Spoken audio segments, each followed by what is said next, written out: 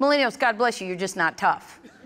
I love you, but I could take your whole generation out with a jar of peanuts. All right? Because. uh, just not tough. We weren't allowed to have feelings. Uh, I remember once telling my father, I'm like, I'm cold. He was like, No, you're not. okay, I guess I'm not. I don't know. We would do things like you would have nicknames based on your flaws. I have a brother to do to do. Yeah, because he used to play with the toilet paper roll all the time.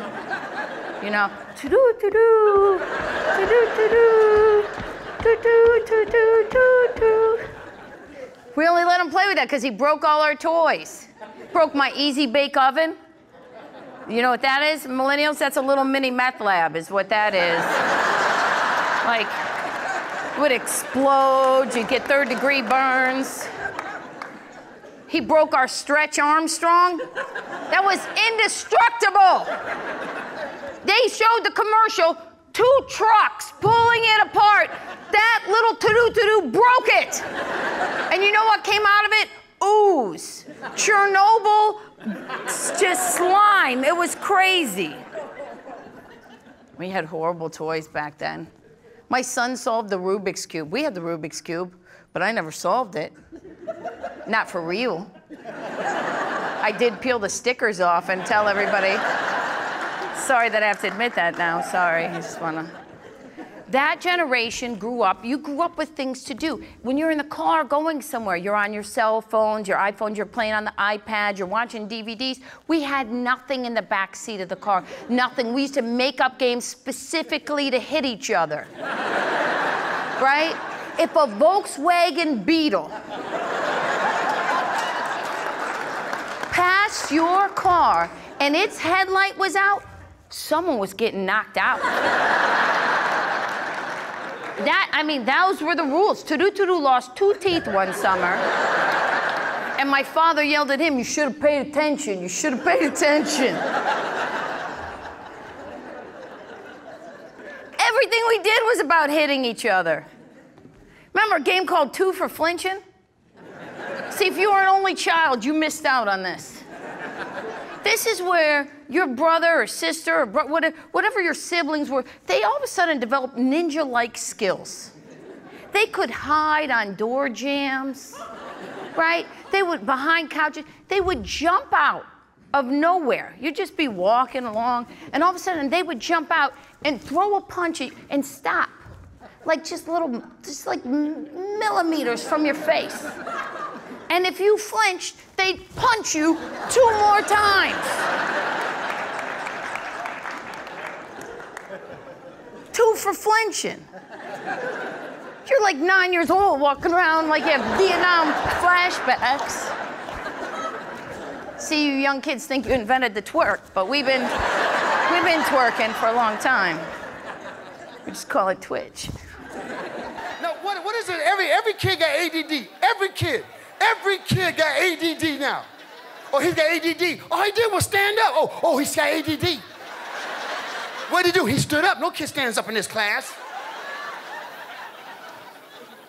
If they play outside, they wouldn't have no ADD. They wouldn't have it. They wouldn't have it. Go outside, it gets all that out of you. My father, I had ADD, there's no name for it. They had a different name. Run around this house again. Run around this house one more time like you lost your mind. Now sit down. Quit shaking. Get yourself together, boy. He cured me of my ADD with no drug so I could exist in society.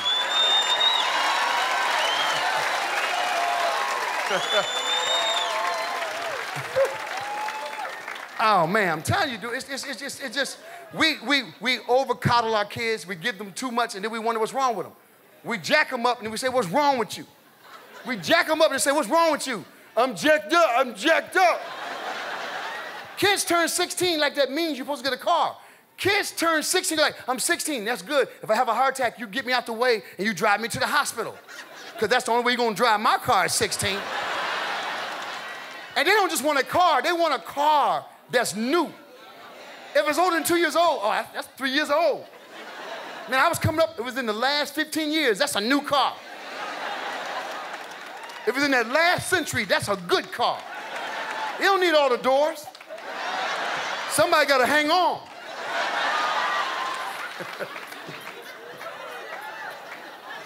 oh. They get an attitude at you like you're supposed to be mad because they're going to walk. I'll just walk. Okay. But know what y'all do? No, no, I'll take you. I ain't getting up because you made the team. You shouldn't have ran so fast. How many y'all dread when your kids make a team? You made the team. Damn.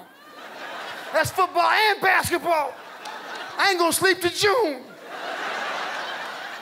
How many y'all got little kids? You be in a tournament and you hope he, he missed the last shot. Don't make it, don't make it, don't make it, don't make it. Whoa! Oh, we so sad y'all lost. But we're gonna sleep next week.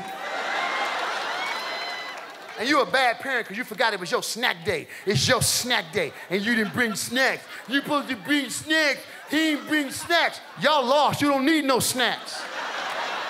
You need to go home. And now every kid gets an award. Someone got to suck. That's what makes you stronger. Someone got to suck.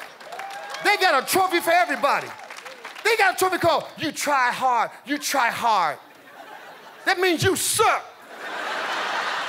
You try hard. This is a try hard award. We have a special award for Johnny. Johnny can't run or shoot. He's no good. He, he clumsy. But he, I wish I had nine of him. I wish I had nine Johnny.